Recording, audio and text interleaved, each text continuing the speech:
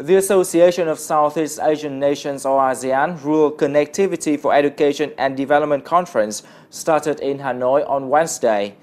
Participants discussed the ways information and communication technology or ICT can bring more efficient key services. VTC10 reporter sat down to talk with Mr. Gwang-Jo Kim, Director of UNESCO Asia and Pacific Regional Bureau for Education about the role of ICT in Vietnam's education. Thank you, Mr. Kim, for joining our talk today. So what is the role of ICT in education in the rural areas of a Southeast Asian country like Vietnam?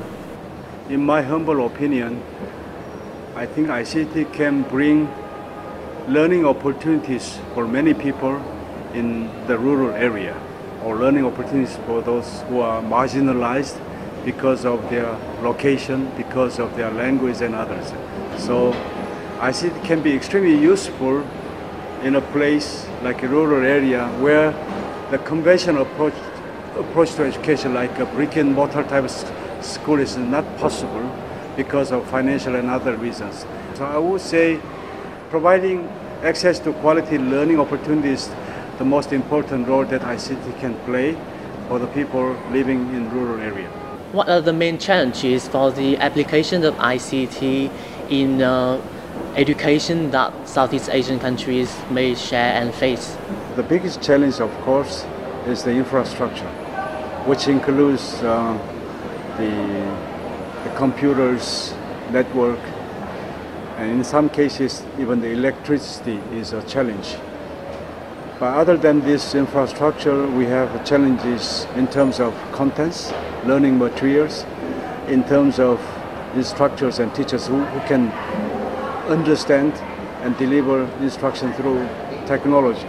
So these are the major challenges faced by many ASEAN countries to my knowledge. I think you have a very good tradition when it comes to learning, especially uh, your tradition of uh, respect for learning or learn, learn people, I think is very important.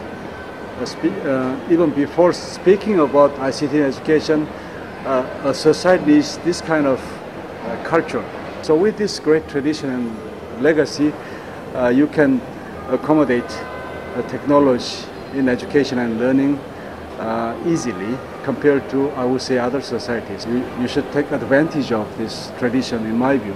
What do you think can Vietnam learn from other Southeast Asian countries in applying ICT in education? Technological literacy in itself is very important. For that, uh, many countries in the region are accommodating ICT as a part of the subject matter in school education. So ICT as a subject can be one approach.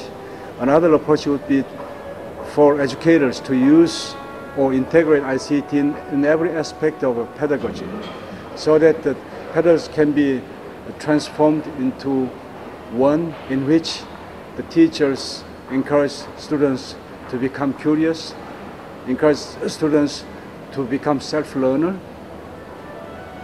to empower students to become problem solver, creative, creative thinker, etc. Still another approach would be for the government to use ICT in their daily manage, management and governance of education system. I'm talking about education management information system. So ICT can be used in different aspects of education as part of pedagogy, as part of subject matter, as part of management. So with that, ICT could potentially enhance the quality of learning for all people in Vietnam.